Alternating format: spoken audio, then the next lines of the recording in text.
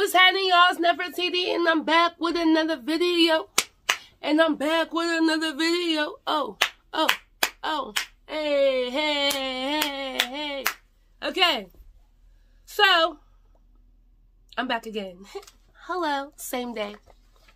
So I have um this is something that I was thinking about because I'm like, you know, I know I talk about encouraging you guys and uplifting and stuff like that, but there's other things that I would love to talk about as well. So I just want to let you guys know on this channel I will be covering many different topics, whatever God puts on my heart. But God downloads so much into me every day. I'm just like, what to talk about today? So today I want to talk about romantic relationships. And I was hoping that I could give you a few pointers and teach you a few things from what I learned. Okay. Now, let me first start by saying this may not be for all of you guys. So if it doesn't resonate with you, you, can you can turn off the video. It doesn't have to resonate with you. However, if it does, good. That's a great thing. If you know somebody else that resonates with, you can share the video. Let them know. Come on over and watch the video. But here's a few pointers that I want to give you guys um, before getting into like a serious relationship again, here's some things that I think that a lot of people don't talk about before moving on into another serious relationship, especially when you first just got out of one. Now, here's my thing. I always say that I'm sorry. Sorry, y'all burnt my tongue.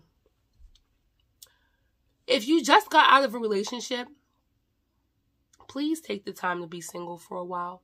And I know that probably sounds cliche. I know, but it's very necessary. It is very necessary because so many times you get into a relationship and you lose who you are. How many people can relate to that?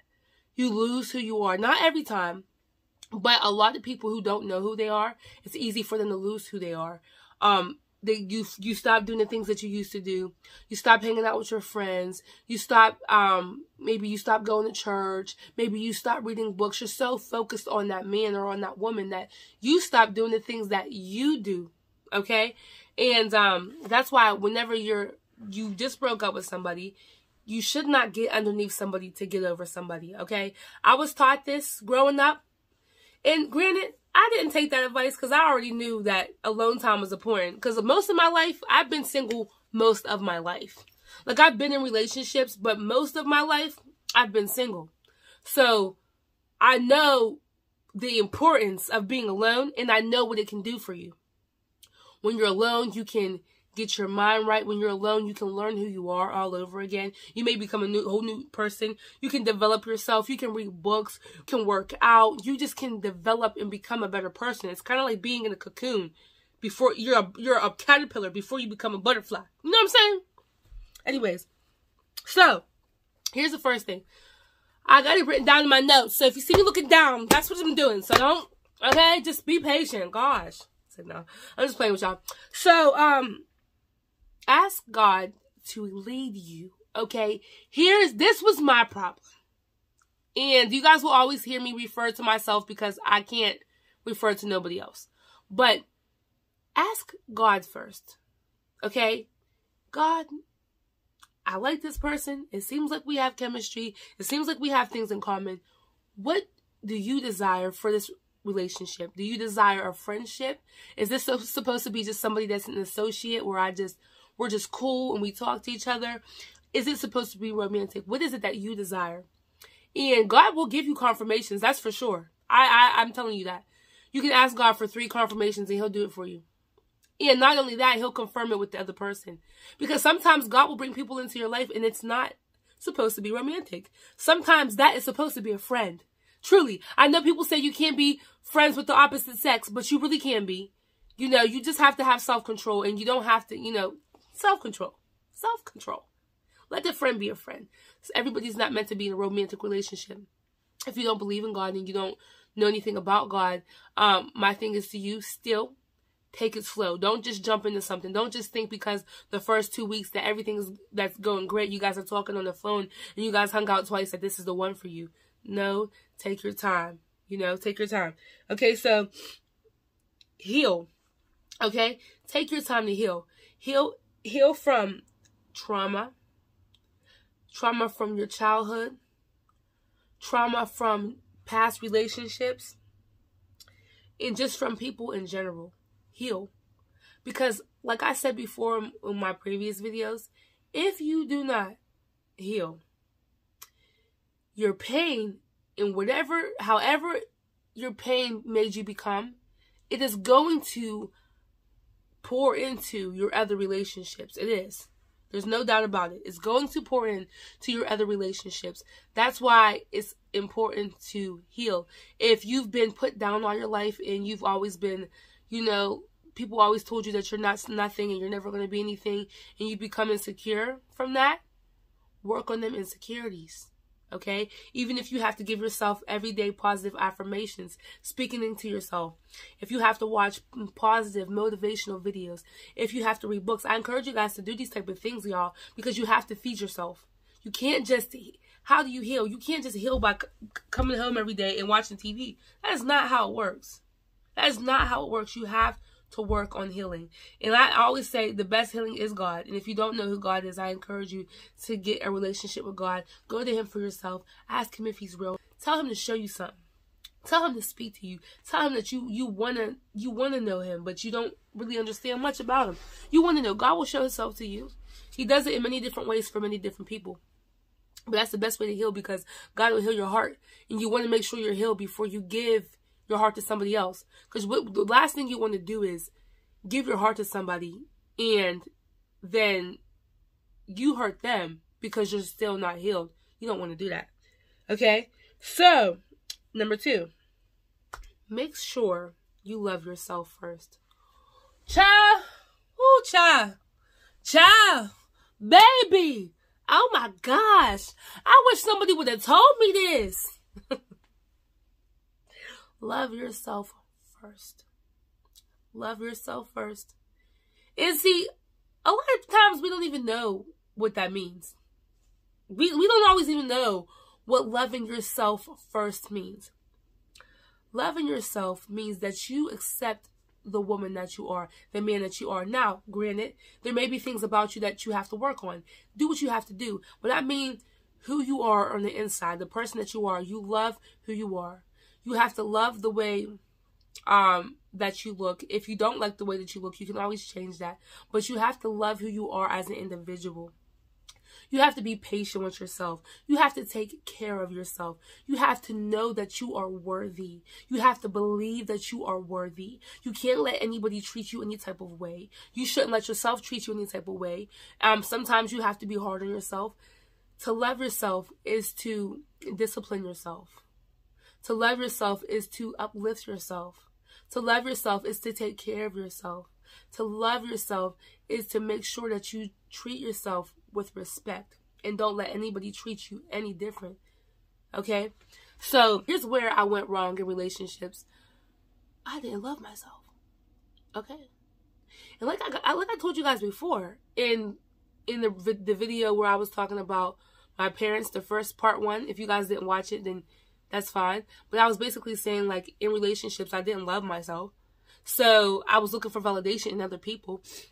Y'all, you can't love nobody else if you can't love yourself. That's the truth.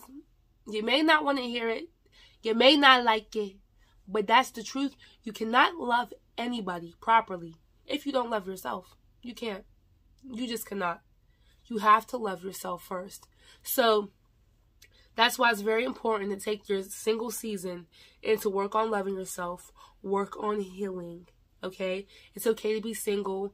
Don't think you always have to be with somebody. Don't think you always have to have somebody up under you. You don't always have to talk to somebody. Now, granted, let me tell you something, okay? I, I'm not gonna lie to you, okay? I'm not gonna lie at all. I love masculine, a masculine man. I ain't gonna lie to you. I, I love to be around, you know, you know, just masculine men. I don't know what it is. It's like, oh, honey, child. I don't get no nasty thoughts or nothing like that. But I just be like, ooh, it just feels so good to like be around a man, like a manly man. You know what I mean? Like it feels, it's good. But at the same time, I have enough self control where it's like, yeah, that's cool and everything.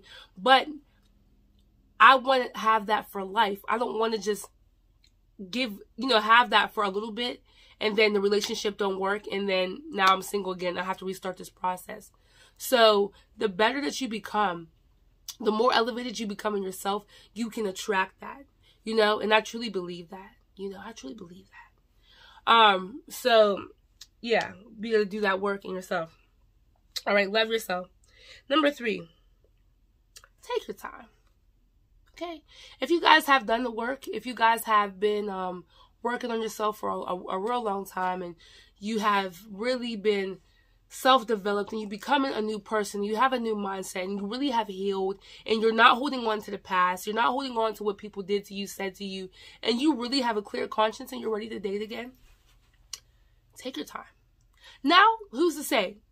We don't know if you can you can fall in love in a day god you know the, the way god works honey with these people you can be like oh my god god can tell you that's that's the one and you can just fall just know from the time that you meet them then I, I know I'm gonna love this person. I don't know why. I just know that may happen, or um, or it may not happen.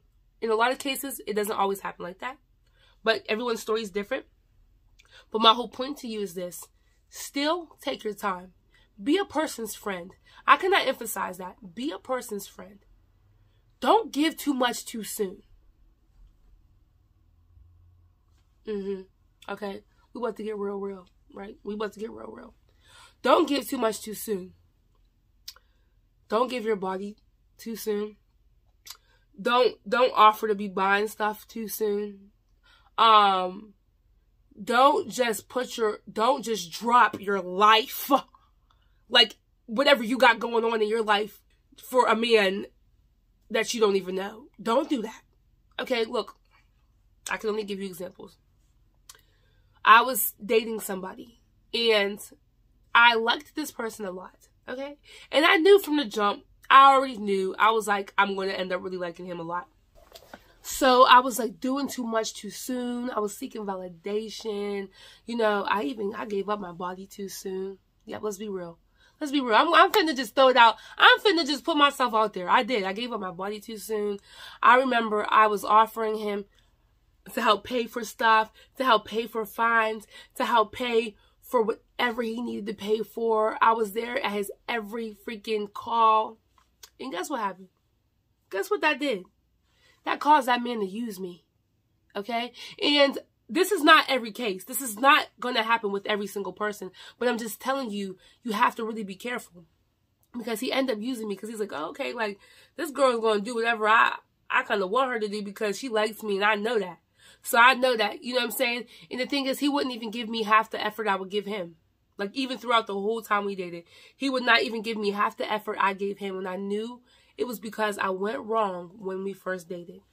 I, I, I moved the wrong way when we first dated. I moved way too fast. I gave way too much. First of all, when you're giving your body too too early to somebody at the beginning of something, you're not giving nothing to respect. You're not giving nothing to respect. You're not if you want a man to respect you, you need to show him that you respect yourself. And I will say, although I did it because I chose to, it wasn't because I felt like, oh, I need him to like me, so I'm going to give him my body. No, I did it because I wanted to. But still, at the same time, um, it still didn't give me a good outcome. You know, I still know that I didn't get as much respect from him because of what I did. And I gave, I end up giving way too much way too soon. And I started to care way too soon, you know, because I started to open up my heart. You see, I'm I'm a lover. I have a very big heart. And so the moment that the walls are down, just love just pops out. I just be I just be ready to do so much for you. You know, I'm one of the women that I like to cater to my man, you know. I like to take care of you, love you, do what you need me to do. If you rub your back, I'm I'm one of them women and I just did too much too soon, and I, that wasn't being reciprocated to me, and that hurt my feelings. But I had to realize the mistakes that I made was that I didn't take my time.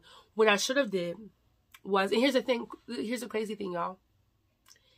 He didn't even want to be my boyfriend. He wanted the boyfriend benefits, but he didn't want the title. Okay, so he wanted me to keep acting like a girlfriend, keep doing stuff for him, keep coming to his house. He could be in control of things but I'm not his girlfriend. And he had every excuse for us not to be girlfriend and boyfriend. But what was the problem? I was the problem. That was my fault. I created that mess because I allowed it. I allowed it to be okay. I um what I should have did was since one, I should have took my time. Took your time. Get to know him. Be his friend before I even make anything serious. Really be a person's friend. Take the time, spend time with them. Talk to them on the phone. Do different things with them. See what they're like when they're mad. See what they're like when they're frustrated. You need to see this type of things with people so that you can see what type of person they are and you can see if this is a person that's really for you or not. It's good to go through the fire and the snow and the sun just to see what type of person that you're dealing with. And that's why it's really good to be their friend first. So that way, um, you know, you don't have nothing too serious yet and you can determine, hey, is this something that I really want? Even if it takes a couple months, take your time. Okay? Um yeah. And I wanted to go back to like what I was saying about how it was my fault. Uh, it was all my fault. Like, you know, of course he plays a part in it because the, the, the dude I was dating, 12 years older than me. So, you know, he was a lot older. Like, he's in his late 30s. Like, you know, he knows what he's doing. I do too. I'm in my later 20s, but there's still some things that I have to learn. You know, so he's a little bit more seasoned with relationships than I am. But what I should have done was I shouldn't have gave him my body. I shouldn't have been paying for nothing, nothing like that. I should have not played the girlfriend. I should have not played the girlfriend role when I wasn't even the girlfriend. Okay? Now, I will say that I'm not, you know, I'm celibate. I don't I don't indulge in um, sexual activity, nothing like that. Um, that's one of the best decisions I had made. And is it easy? No, it wasn't easy, but it's very necessary. And once I realized, here's here's what helped me to really be like, because God has been wanting me to be like this. I was before, and I I broke it. I want to be married, and I want what God has for me and I want a husband and I want to do it the right way this time so that way God puts the right man in my life and we get married and we do it the right way and I want to honor God. So now that's my goal. Um I encourage you guys to do the same to hold off on your body honor your body protect your body don't give your body and another thing when you're when you're having sex with somebody it keeps you connected because when you have sex with people, you become one.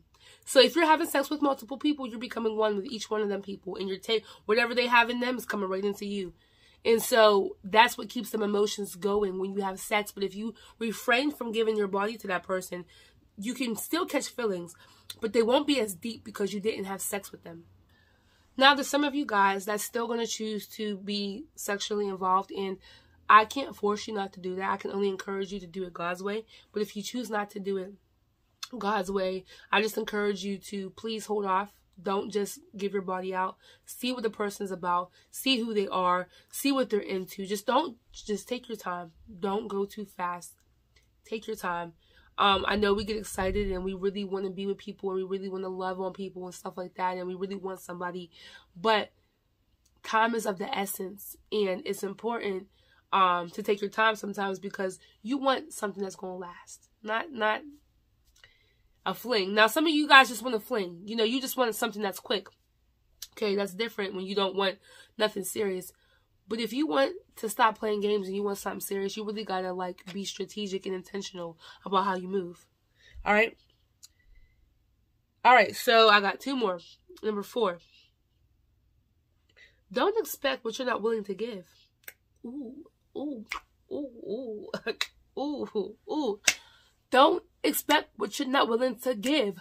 Don't expect what you're not willing to give. Give, give, give, give, give. Hey, hey, hey. So many times we expect so much. Like we we be wanting people to bring everything to the table. And all we have is one little glass of one little cup shot glass. That's all we got is a shot glass. We don't even have enough to pour into a, a whole cup.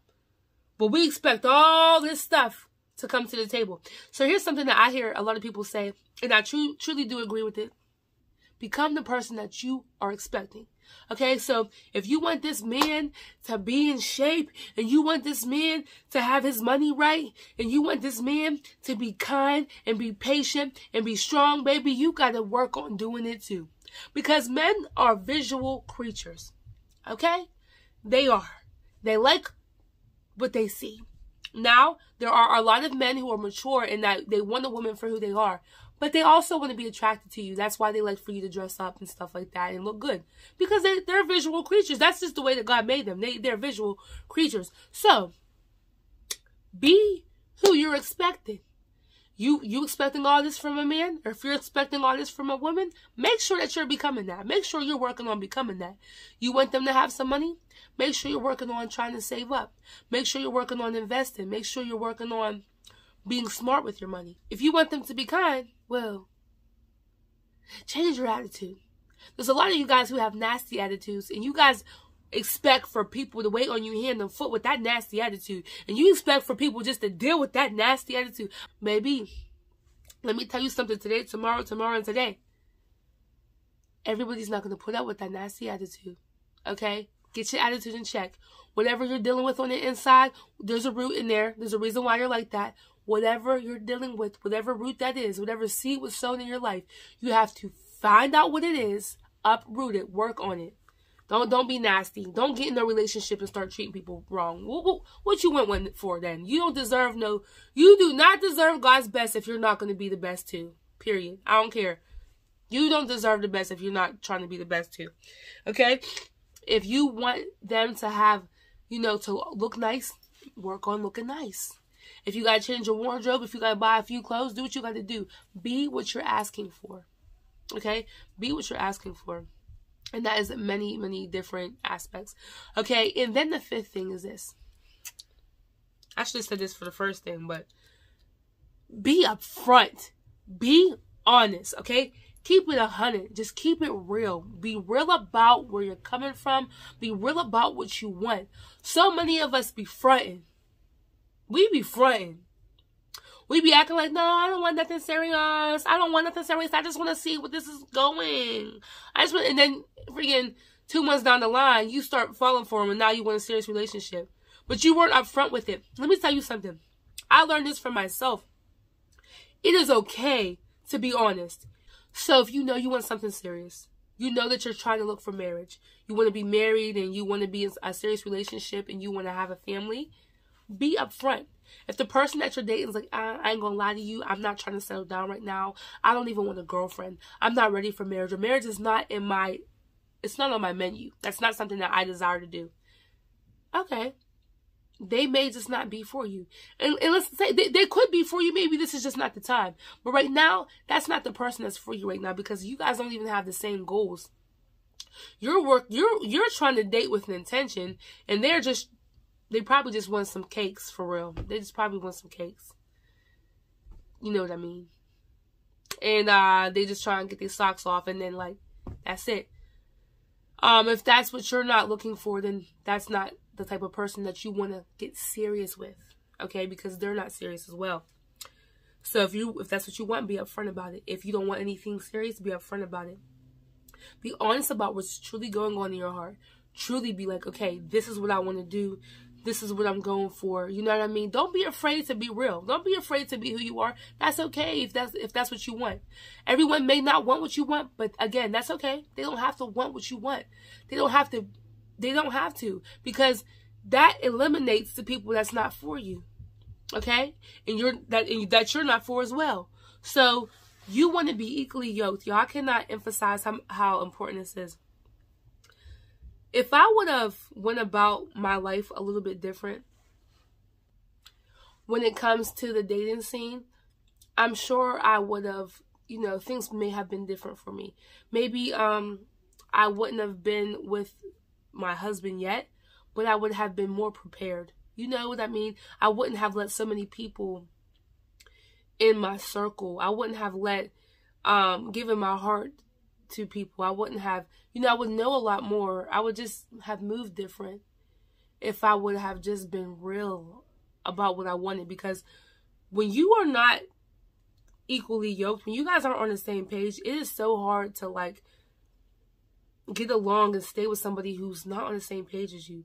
Especially if you're a believer and you're dating an unbeliever. Y'all, I encourage you to don't do that. If you want to walk with God and you want to please God and you want to honor God, especially in all that you do, and you decide to date, it's best to date people who love God as well And there's people who are on different levels of, of with Christ. There's some people who have a revere for God. There's some people who have respect for God, that believe in God, but that don't really want nothing to do with Him. They don't want to pray.